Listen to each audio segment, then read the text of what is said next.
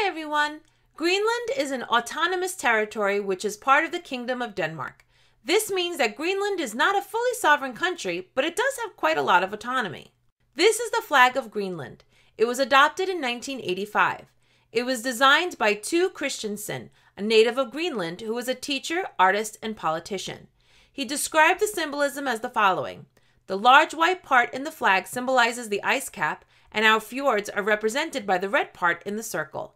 The white part of the circle symbolizes the icebergs and the pack ice, and the large red part in the flag represents the ocean. Some people interpret the circle as being a symbol of a rising and setting sun, but as far as we know, Christiansen never mentioned this himself.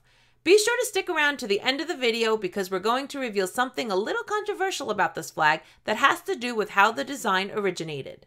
Before the adoption of this flag, the flag of Denmark was used to represent Greenland, and while many were happy to fly the Danish flag, many others wanted Greenland to have its own official flag. In 1973, a group of people from Greenland came up with this proposal. The design is a white Nordic cross with blue fimbriations, which is set on a green field. We don't know the symbolism, but presumably the green field alludes to the country's name, and perhaps the white symbolizes snow and ice, and we would guess the blue symbolizes the North Atlantic Ocean. A year after this, a Greenlandic newspaper published 11 proposed flags and polled readers, and the result was that the majority preferred the Danish flag to all of the proposals. Later, in 1978, Denmark granted more autonomy to Greenland by way of home rule, and the newly established government of Greenland decided to call for a flag for Greenland. 555 submissions were received. In the end, it came down to two designs, which battled it out to become the flag of Greenland. This contender was designed by Sven Tito Achen, who was an Argentinian Danish writer and author on heraldry, and co founder of the Scandinavian Society of Heraldry. His proposal was a simple white Nordic cross on a green field. Again, we're not sure of the symbolism, but once more we assume the green refers to the name Greenland. The white probably refers to the white environment of ice and snow, but it also creates a strong link to the flag of Denmark, which also has a white Nordic cross. And of course, the other contender was the design which was ultimately chosen as the flag of Greenland. The two flags went head to head in a vote which was held by a flag design committee which had been set up to choose a flag. In the final vote, the winning design won by 14 votes to 11. So, did the right flag win the vote, or should the flag have been a Nordic cross flag? There's no right or wrong answer to this. Out of the 555 submissions, it's likely a pretty high number of them had a Nordic cross design. We like the Nordic design that made it to the last two. It's simple and it has very strong ties to the Danish flag as well as other Nordic national flags. And also, green is not used on the flags of the five sovereign Nordic nations, so this design manages to be distinctive while also being strongly related. So while a good argument can be made that Greenland should have chosen a Nordic cross flag, we also have to say the chosen flag is a great one. It obviously doesn't have the Nordic cross, but it still has close links to the Danish flag nevertheless. It uses the exact same color shades of red and white, and the circle is off center, oriented towards the hoist, just like the Nordic Cross. We've seen a number of the other proposals, and of the ones with a Nordic Cross design, we've seen many variations using red, white, green, and blue. Some of them look really nice, while others don't look as good, with contrast issues and issues regarding similarities to other Nordic flags. One design we saw was a slight variation of this. This one has a white cross with red fimbriations on a white field. The original proposal had thin red stripes at the top and bottom, which we aren't fans of.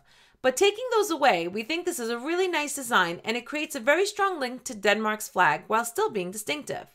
Here is another proposal which is like the Achen flag but with the green and white reversed. We really like this design also. Here is another one that is heavily based on the Danish flag but the white cross has green fimbriations. So, as well as creating a strong link to Denmark, this design also pays tribute to the country's name through the use of green. This design has a contrast issue with the red and green, and not surprisingly, another proposal takes care of this issue by swapping the green and white. Just for fun, we decided to create three Nordic cross designs for Greenland. We wouldn't be surprised if our designs have already been created by others because there's a limited number of possibilities. For our designs, we decided to use green, white, and red. The first one is a variation of the Achen flag, but we colored the canton red. We did this to create a stronger link to the Danish flag while at the same time the flag is still dominated by the green. Our next design is a variant of the previous one, where we changed the lower hoist from green to red. This gives us an even stronger link to Denmark, but we still have plenty of green remaining. Our final flag has a white cross on a white field, which are separated by red and green fimbriations. This one heavily alludes to the vast whiteness of the Greenlandic landscape. While we think this is good symbolism, it also represents a practical issue because flying this flag in Greenland against the white landscape would probably make the flag very difficult to see. Returning to symbolism, we have the red to create a link with Denmark and the green that once more represents the country's name. Of our three designs, this one is our favorite.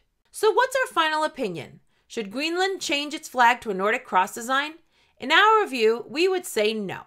The flag that was adopted has been very well received in Greenland for the most part, and of course, the opinions of the people of Greenland are what count the most. And while the Nordic cross might have seemed like an obvious choice, we really like how the flag's design is still strongly linked to the flag of Denmark. Overall, we think this is a great design, and if Greenland were to gain full independence someday, this flag would be distinct among them with its counterchange disc. Before we end this video, we mentioned that the design has a bit of controversy behind it. That's because the flag's design is practically identical to that of a Danish rowing club called HEI Rasport, and their flag has been in existence long before the Greenlandic flag. It's not clear if Thue Christiansen copied the design or if he came up with the design independently. The rowing club didn't take any action and even seemed to give the use of their flag their blessing, saying that it gave their rowing club some free publicity and advertising. So, what do you guys think? Do you think Greenland should keep their current flag or do you think they should change to a Nordic cross flag? Also, do you think the design was copied from the rowing club or do you think it's just a coincidence that the two flags are basically identical? Let us know your thoughts in the comments. Remember to subscribe to the channel because we have a ton of flag related content with lots more to come in the future. Bye for now, and thank you for watching!